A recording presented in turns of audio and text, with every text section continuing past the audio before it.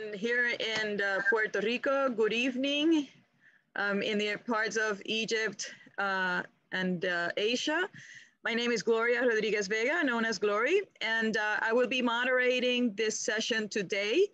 Um, and to begin with our first lecture, Anesthesia and Natural Disasters, I want to introduce Professor John Doyle. He is from the Department of General Anesthesiology at Cleveland Clinic and also professor of anesthesiology at the Cleveland Clinic uh, Lerner College of Medicine of Case Western Reserve University. Uh, he received his medical degree in 1982 and his PhD uh, degree in biomedical engineering in 1986 from both uh, the University of Toronto. Um, he's received his Canadian Board of Certification in Anesthesia in 1986 and the American certification in 1989. He has a long-standing interest in ENT anesthesia, difficult airway management, as well as interest in the use of technology in medicine. His research has been supported by a number of funding agencies, and he holds positions in a number of editorial boards. Um, Dr. Doyle is also past president of both the Society of Airway Management and the Society for Technology and Anesthesia. He has received clinical teaching awards on four occasions he has been a speaker uh, both nationally and internationally, and we welcome him today at Mega Learn, Engage, and Connect. Um, Dr. Doyle. Thank you. Uh, thank you, Glory. I'm going to talk about anesthesia and natural disasters. And the outline here ranges from COVID 19, the disaster that we face on a daily basis around the world, as well as a discussion of disaster management processes, emergency response medical teams, some of the training resources and opportunities that are available, the special role of ketamine and regional anesthesia in some of these natural disasters, how to manage ventilated patients in a natural disaster setting when there's limited resources. Uh, and then we'll finish up with some conclusions. And at the end of uh, the slide set are a variety of references that can be useful to you. So let's get started. Here are a list of some of the threats and natural disasters that we have to be concerned with. We have biological threats such as the COVID-19 virus, chemical threats such as bioweapons, droughts, earthquakes, fires, flood, hurricanes, landslides, nuclear uh, radiation disasters, uh, such as happened at Three Mile Island in the United States and elsewhere in the world, tornadoes, tsunamis, volcanoes, firestorms, and winter storms. Winter storms, something that I'm particularly uh, familiar with living in Cleveland at the moment. Uh, for many of us, the COVID 19 virus is the big disaster around the world, uh, killing millions and continuing to kill millions. We're familiar with many of the basic strategies in dealing with them, avoiding close contact with sick individuals, frequently washing our hands, practicing good respiratory hygiene. This is not new to us, so I won't go on at length, but the uh, uh, anesthesia Patient Safety Foundation has come up with some recommendations for standard practice in the anesthesia work environment that uh, are useful in this context as well as in the context of patients in general. And they uh, make specific recommendations that apply to all patients, not just the patients with uh, COVID 19. They talk about hand hygiene and alcohol based hand gels should be located near every anesthesia workstation. The use of per uh, personal protective equipment uh, is emphasized, and they suggest a lowered threshold for planning elective or semi elective intubations in relevant cases. And they talk about the role of N95 masks, which should be used for all known or suspected cases of COVID 19, as well as any asymptomatic open airway cases, such as we find in interventional pulmonology. Um, so uh, you are advised to take a look at the Anesthesia Patient Safety Foundation's recommendations that are detailed here, as well as to take a look at their specific recommendations that have been published for uh, patients suspected to be infected with the COVID-19 virus. Uh, they suggest that these patients should not be brought into the holding area and should be managed in a designated OR with appropriate signs, should be recovered in the OR or transferred to the ICU in a negative pressure room and some planning ahead in terms of the use of personal protective equipment and barrier precautions should be necessary and consider intubation early to avoid the risk um, of a crash intubation when PPE cannot be applied safely. So these are some of the recommendations that I'd bring to your attention. Some of the things that they recommend, uh, double gloving, standard ASA monitoring, N95 mask at a minimum. PAPRs can be superior protection when uh, uh, they are available. You want to assign the most experienced anesthesia personnel uh, where possible. Avoid training intubation for sick uh, patients and avoid fiber optic intubation unless it's absolutely necessary. Atomized local anesthesia can aerosolize the virus around the room. To do a rapid sequence induction, you'll do it in the usual way, but they recommend the use of a video laryngoscope. It can be advantageous. Uh, and you may need to modify it. If you're going to do manual ventilation, apply small tidal volumes. And they recommend the use of a high efficiency hydrophobic filter placed in between the face mask and the breathing circuit. Uh, they recommend resheathing the laryngoscope immediately post intubation using a glove, uh, double glove technique. And after removing all protective equipment, avoid touching your hair or face. And then, of course, wash your hands. So, um, these are some of the recommendations from the Anesthesia Patient Safety Foundation. Not everyone is aware that there are enormous differences between the N95 mask and an ordinary surgical mask. An N95 mask removes 95% of particulates that are 0.3 microns and larger, and this includes uh, bacteria and viruses. A surgical mask protects the wearer from splashes of blood and bodily fluids and protects others from diseases that the wearer may have, but doesn't protect against bacteria or viruses. So the role of the N95 mask is especially important and should require special fitting. When you breathe in the air, should be sucked through. When you breathe in, the air should be sucked through the mask itself and not come around the sides. If the air is coming in from around the sides, you're being exposed to whatever you're trying to protect yourself from. And special knitting uh, uh, fitting stations are available for N95 masks.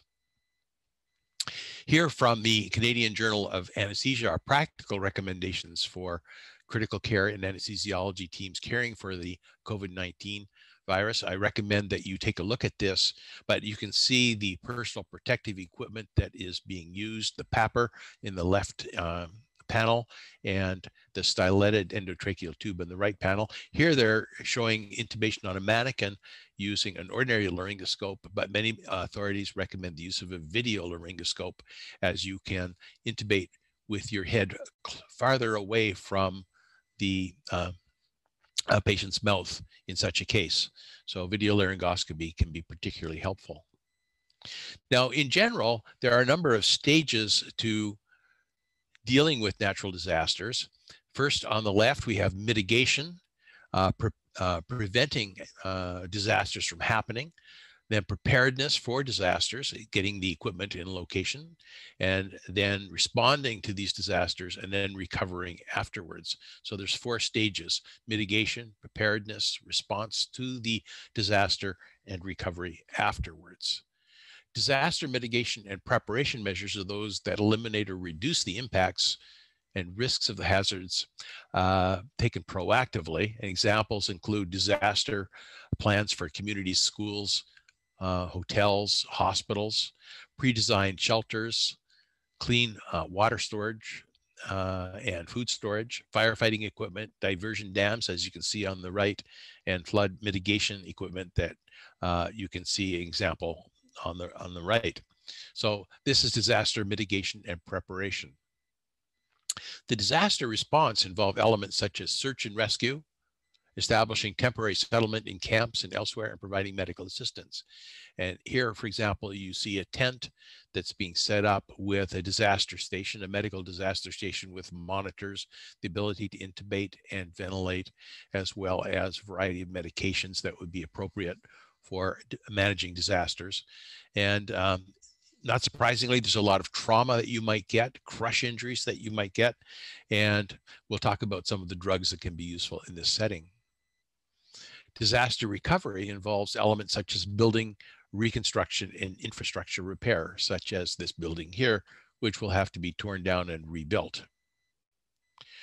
Let's talk about the emergency medical response to natural disasters. Um, here an example of a patient who is being rescued from um, a, a collapsed building filled with dust and being brought over to the emergency station. The emergency medical response teams include physicians and surgeons, nurses and technicians, logistics specialists, care coordinators, quartermasters, particularly important uh, because you have to know where all the equipment is and how many of each item you've got, and then drivers as well as security personnel. So there's a lot of different teams involved, and these are all important. The World Health Organization has a rich variety of resources that can be helpful for people planning for these kinds of disasters. On the left, they've got an article called Management of Limb Injuries During Disasters and Conflicts. In the middle, Management of Dead Bodies After Disasters. And you, particularly, you want to avoid spreading infection around. And on the right, Classification and Minimum Standards for Foreign Medical Teams in Sudden Onset Disasters. And this will be a valuable document in preparation of a response team. So the address on the bottom will allow you to get these uh, documents. Disaster training comes in uh, three levels. There is basic disaster life support, advanced disaster life support, and core disaster life support. And these are programs available uh, for the um, U.S. from the U.S. Department of Homeland Security uh, FEMA, the Federal Emergency Management Agency, and training from them is available for those that are interested. You can actually go and do independent study through this if you want. So the basic disaster life support course is about seven and a half hours, and it covers the core principles and concepts in emergency management and public health. Uh, and they have what they call the pre-disaster paradigm and the disaster paradigm. And the focus is the incorporation of an all hazards approach to mass casualty management. Information on that is available on the bottom right. Those who are interested in uh, getting more uh, qualifications can join the American Board of Disaster Medicine, which was organized in 2006. And in fact, uh, there's also the American Academy of uh, Disaster Medicine, also organized in 2006, and the American Board of Disaster Medicine and the American Academy, uh, Academy of, of, Disaster Medicine are two sister organizations that work together.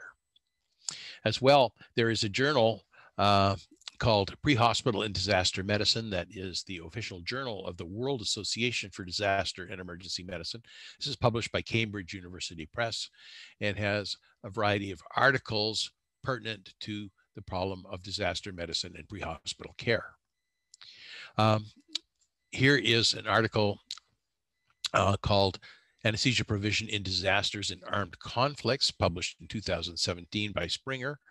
And uh, here's an example of some of the articles that you can download uh, from the various journal sites. Here's one from the British Journal of Anesthesia. Managing Anesthetic Provision for Global Disasters from the uh, Bristol Royal Infirmary in Bristol, UK, published in 2017. Uh, and what you'll see in many of these articles, as well as the training courses, is that there is an overall plan as shown here. Uh, the disaster strikes, you pack and deploy for them, you arrive at the scene, you are uh, assigned to a location, you move to that location, you treat patients, then you monitor the performance at the site and give, provide regular reports, and then you hand over to local authorities over time. So this is the process that uh, the WHO recommends, the World Health Organization, and more details are available at the resource indicated on the bottom.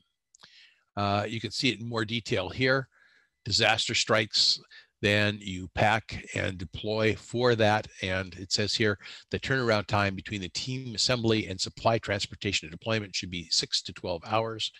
Then you arrive typically by aircraft and you are then assigned a location based on uh, information usually provided by the Ministry of Health. You move to that location and that's where the logistics and transportation is so important. And then you treat your patients. So natural disasters typically involve many trauma patients in the setting of a damaged infrastructure and limited resources. The hospital that you would normally treat a trauma patient in might be destroyed by earthquakes, for example. Disasters that occur in developing countries where healthcare resources and clinical personnel are scarce may experience a weak healthcare response in the disaster and may require outside support. In many cases, temporary hospitals must be set up in tents, as shown here. Here you can see uh, uh, anesthesiologists planning for a spinal anesthetic in a patient, and to the patient's um, right behind them, you can see the anesthesia machine with a single vaporizer.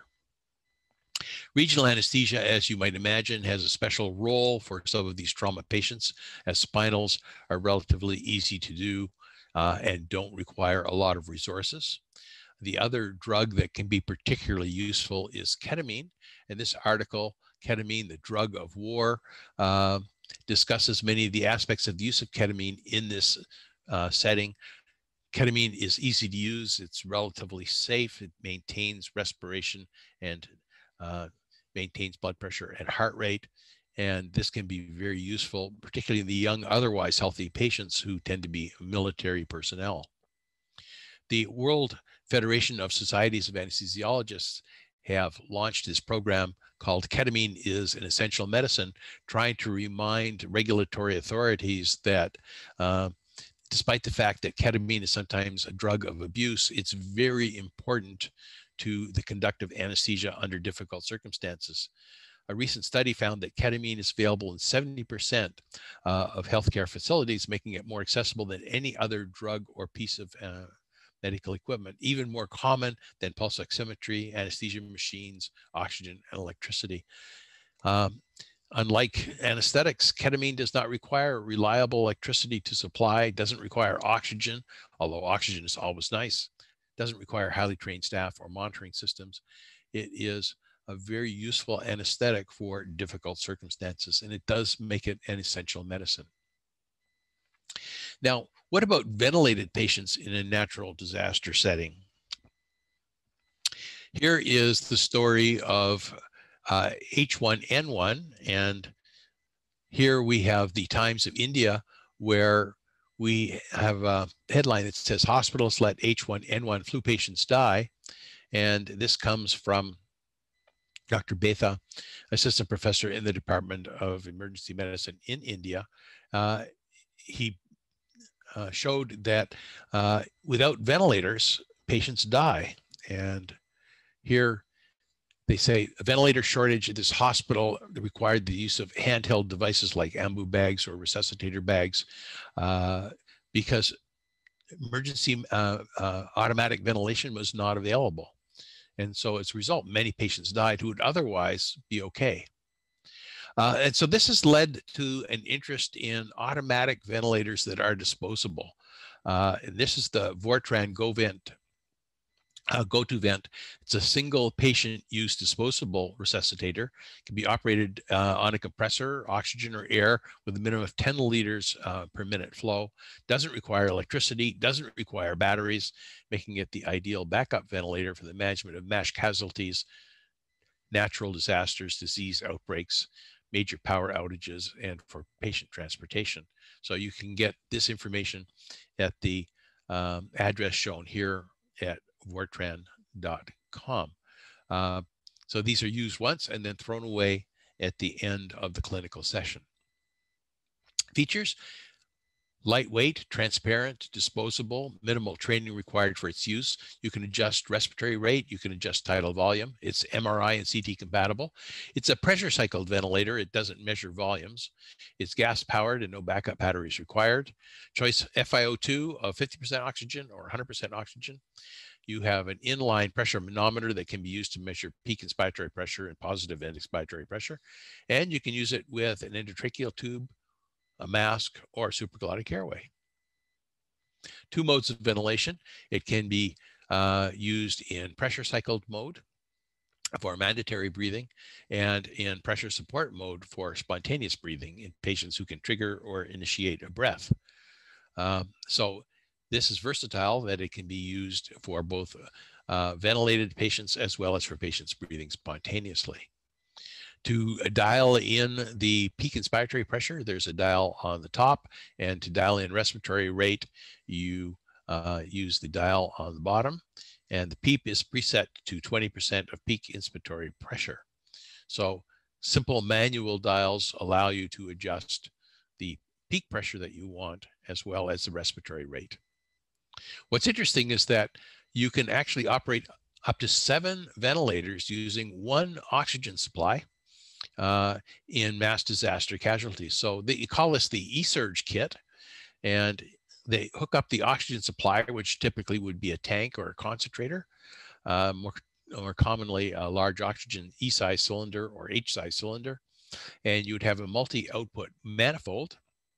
Uh, and here, up to seven patients can be ventilated all at once with FiO2s of 50% or 100%, depending on clinical circumstances.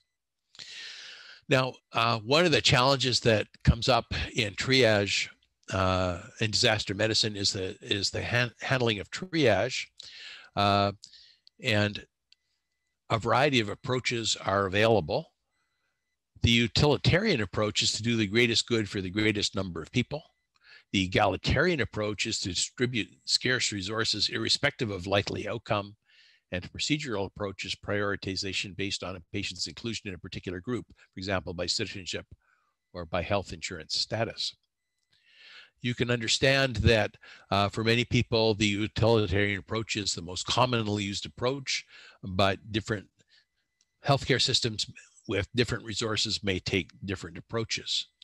But in all of these cases, it's important to have some sort of system to label the patients in terms of the urgency of their care.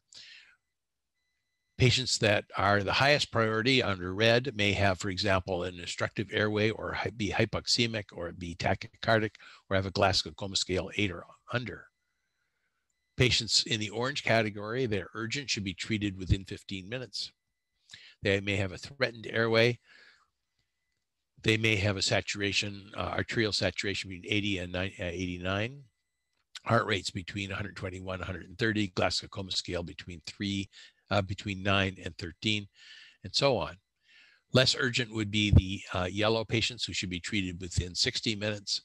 And then the green patients are patients should be treated within the next three hours. So these this is an example of how you can prioritize and triage your patients. And this is the suggestion made from the Scandinavian Journal of Trauma, Resuscitation, and Emergency Medicine. One of the things that interesting is that when you have trauma patients and they need to be transported, uh, this can be very complicated. Here we have an example of a portable life care, uh, portable life support system. It's a gurney with a built-in ventilator, oxygen concentrator uh, operated on batteries, drug infusions that um, uh, can be given, for example, for pressors uh, or for sedation. And it's all self-contained and portable, uh, can be useful when you want to transport a patient, an intubated patient in particular, long distances via aircraft or via ground transportation. Here is the uh, system uh, shown here intended for military or civilian use. The transport life support system. is portable and you just hook it to the size of the gurney or the stretcher and you can ventilate this patient as well as do other things. It supplies its own oxygen source by, by way of a built-in oxygen concentrator. Truly amazing. So it features built-in vital sign monitor, can measure uh, end-tidal CO2 by capnography, oxygen concentration, arterial blood pressure, CVP if you want, non-invasive blood pressure, pulse oximetry, electrocardiographic analysis, as well as a, a temperature. Oxygen concentrator, FiO2 uh, up to 50, uh, 85%. A ventilator that's built in with intermittent mandatory variation, uh, assist control, pressure support, and so on, as well as suction all in a portable system very convenient for those uh, who want to go long distances by helicopter or on ground transport. So to conclude, although natural disasters come in many forms, the rescue response to most of these events is similar. Prior planning and careful logistical analysis is essential to ensure optimal outcomes following a natural disaster. The World Health Organization offers many helpful online resources. Ketamine is an anesthetic drug particularly suited to providing anesthesia in resource limited settings, and disposable ventilators can be useful in mass casualty settings. I have some videos that I would like to bring to your attention. Uh, and so you can click on any of uh, these links to uh, get to watch these videos, more information available for those that are interested in supplementary information. And as well, I have a variety of references. Here's the first eight, and here is the next eight that can be useful for people who want more information. Thank you very much for your time. It's much appreciated, and I look forward to any questions. Thank you, Professor Doyle, for that excellent and informative um, lecture. Um, in summary, Dr. Doyle spoke about COVID-19 airway management and recommendations from different societies. Also spoke about disaster preparedness and which courses and certifications you could obtain. He made also references to journals, which at the end, um, he also has 16 references that you can review this lecture and access them.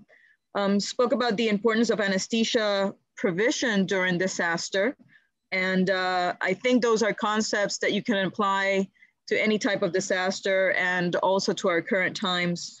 Um, the importance of ketamine as an aesthetic uh, in difficult circumstances, um, how to address ventilator um, shortage with disposable ventilators, that was very interesting, and also about triaging.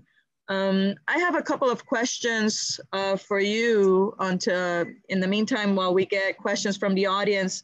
Um, what advice would you give to leaders, um, directors regarding the preparation for disasters? I, I think the most important single thing would be the most important single thing would be to establish a document that involves all the stakeholders that uh, would be a plan and then later on to have an opportunity to have a dry run for a particular sim simulated disaster so uh, the the plan you can get some basic plans from various organizations and then you would have to adjust them to your particular set of circumstances and in particular, you would have to have a list of all the players involved so they can be contacted immediately. Thank you. Um, that's one of, I will use my hospital as an example. We have a disaster plan, um, hospital-wise, and then each department has their own plan regarding their, um, their areas. And it's a plan that can be transformed to either a natural, chemical, you know, any type of disaster, but it's easily adjustable. And those are reviewed yearly. Um, so that way you're always ready. Um, another question that I have is how do you adjust that plan when you have a global competition for resources like we are facing right now with COVID 19? because usually with disasters, it's a local or a national event, and then you can get your resources that you were, as you were mentioning, you know, your ketamine or your portable um, disposable ventilators. But how do we compensate when the whole world is competing for the same resources? So that's a question that even and takes place at the national level. Yep. Uh, and unfortunately, at the national level, often political issues trump scientific issues. Uh, and so, what may be the recommendations of some of the uh, experts in the field may not get implemented to the degree they wish because of other considerations. Uh, for the most part, you'll want to stockpile the required resources, and many of these resources uh, have limited shelf life, and that can be a problem as well. So there's no easy solution other than to try and plan ahead as much as you can. And remember that the first part in the disaster management is mitigation. Okay. Um, one of the things that uh, we had to adapt uh, was preparing for the difficult decision making, which is what you mentioned at the end of your lecture, when you have to triage um, in mass casualty type events um, because of this competing area of resources. And um, we had been giving lectures uh, to our friends in Guatemala, also our friends in India, Um, you know now that they have, you know, difficult with oxygen. So that is also part that you have to prepare for that type of difficult decision. And I think that's my learning point um, through this pandemic, that also difficult decision making will happen um, and should be in that part of the plan. Yes, absolutely. Um, let's see if we have any questions from the rest of the panel or any from the audience. I am trying to check here. Um, no questions for now. Well, thank you very much, Professor Doyle. And uh, to our audience, thank you. Um, you can also access this lecture um, on Facebook Live and also through their new website that has been launched. Thank you, Dr. Doyle. Thank you. Thank you very much.